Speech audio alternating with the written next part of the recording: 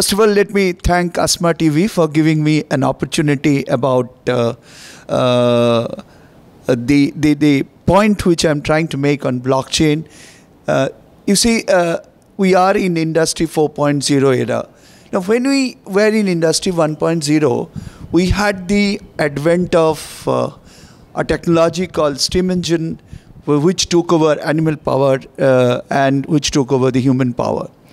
Then came Industry 2.0, where we had electricity. That was a pretty long era of about 100 years. Then came Industry 3.0, when we had the benefit of transistors, we had the benefit of IT technology, we had computerized production. Believe me, we are in Industry 4.0 now.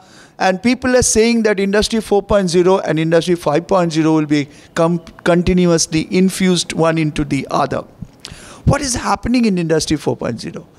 Industry 4.0 is having a huge digitization of the world. In this process, we have seen deep learning, machine learning, advanced robotics. We have, we have seen self-administered car. We are now going to see swarm computing. We are now going to see the world of blockchain also. Now, when blockchain came, people thought that blockchain is for Bitcoin only or blockchain is for cryptocurrency only. Let me tell you, I have recently written uh, two papers on blockchain. These have been published. And there I have proved that blockchain is not Bitcoin, Bitcoin is not blockchain. Like whenever you see, think of any, any lubricating oil, you think of, you call it Mobil. So in the general perception, people say blockchain is equal to uh, uh, Bitcoin or cryptocurrency and cryptocurrency is equal to blockchain. No, no, no, no, absolutely no. The issue here is very simple. What is blockchain? Blockchain is nothing but an immutable, non-immutable, uh, decentralized ledger with 100% cryptographed and very transparent and if you need to hack into any blockchain technology based application, you are going to have a supercomputer which the world has not seen as yet. Perhaps the God's computer would be able to hack it. Why I'm talking about? Because blockchain is a lever distributed technology. You can hack one computer, you can hack two computer. Can you simultaneously hack 30, 40, 50, 100, 2000 computer? Absolutely not. That's not possible. So that's what is the beauty of blockchain. Blockchain uh, was first applied in 2009 and uh, a group of people or one gentleman, uh, Satoshi Nakamoto, uh, he, he applied the blockchain for uh, something called virtual digital currency. But immediately after that, one of the team members of that thought that why not blockchain be applied for various other commercial purpose. Since then, up till today, when you open Twitter or LinkedIn every day morning, you will find one more application of blockchain has come in. I was just yesterday uh, looking at an IBM site. I found that blockchain will be used for disaster technology management. When I say disaster uh, management, I'm talking about environment uh, conservation, conservation, conservation, ocean management. I'm talking about biodiversity conservation. I'm talking about underground water conservation. I'm talking about uh, the, the, the uh, water and air pollution. Recently, I have also seen the, the president of the European Federation of Nurses. They have started talking about application of blockchain by nurses so that they can take the services of nurses to the people who need it. I, uh, if you go through the McKinsey's recent study, McKinsey has said four industries are going to be benefited through blockchain maximum. The first industry to be benefited maximum is agriculture, followed by insurance, entire BFSI sector for that matter, manufacturing sector, peer-to-peer lending. And, and if you name anything, the most important thing which will be there uh, for us, with the common citizen of any country, is the government service administration would be the most important beneficiary. Today, if you want to see your land record which you own, you have to perhaps go 10 times to an office of government. If you have blockchain based land record management, you just see, can see it on your mobile. What is your blockchain based land registration? Uh, I believe uh, government of Andhra Pradesh is trying to control underground water management by blockchain applications. Look at Punjab. Punjab is absolutely dry now on underground water management. So what is happening in the world is people are thinking of introducing blockchain based voting. That means you will be using blockchain for voting so that you can elect a parliamentarian or you, you can elect an assembly guy. How, and what is the benefit? Is it the voting the end of it? No. Suppose this gentleman whom you have elected, he is trying to raise a question in parliament. Would he be able to use the blockchain? Yes. He will moot an idea that this is a question I'm going to raise in parliament. What are your views? His constituency will be able to give him views that uh, what, what they feel individually what is the going what is going to be the benefit from this question to the country and the constituency.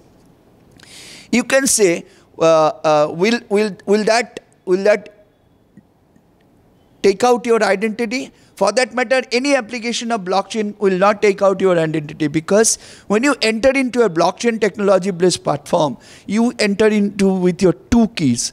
You you have one private key and you have one public key your name will never be distributed, you will never be seen because you will be known by a public key number. But when you enter the blockchain platform, the key which you use is your personal private key which will not be known to the blockchain other blockchain users. Assume that you are, you are in a healthcare blockchain and you are going to go for a knee surgery or you have got cancer. You want to take the treatment from a cancer uh, specialist of USA and he is going to support the surgery which is happening in India. Can blockchain help? His answer is yes. How it can help? It can only it can only bring in the interested party, including the insurance company, into the blockchain and say that all the concerned parties, right from a general physician, patient, drug supplier, the hospital, the pathological, radiological institutions, American consultant, Indian surgeon, everybody will be taking into, taken into this blockchain-based answer for giving the service to this gentleman. Suppose we have introduced uh, the, uh, the, uh, the Yojana which Prime Minister has started for health for everybody in that taking the service to the to the ground level person who is the beneficiary of this insurance contract, will blockchain help it? Answer is yes, the blockchain will be able to help it. Take the case of an insurance company. You can reach your home from your house on a, on a, uh, uh, using three routes, assume. And each route has its own accident uh, proneness index. Now, any day you are driving through route number one, it will be captured any day you are driving to route number two it will be captured. This way when the insurance company is capturing on a daily basis which route you are driving through your insurance premium is getting decided on a daily basis instead of an annual basis. How it is being used? It is being used with the help of an iot internet of thing which is fitted into your car and the whole administration of hundreds and thousands of cars using the IoT will again be bought into a blockchain platform. So point I'm trying to make that blockchain is, is, is something which is not Bitcoin. You know, when internet came, everybody thought that the application of internet is only to the extent of internet mail. That is, mail uh, you exchange and you reach your mail to your addressee party within few seconds or minutes. And it was internet is equal to uh, uh, cyber mail and cyber mail is equal to internet. What happens today? If you want to order your food from Swiggy or Zomato, the uh, connecting to the hotel, you are through internet, right? Blockchain is going to be something. Suppose uh, one singer is continuously getting hassled because his songs are getting downloaded and his digital right has been completely destroyed. He lost his money, which he, he or she should have earned.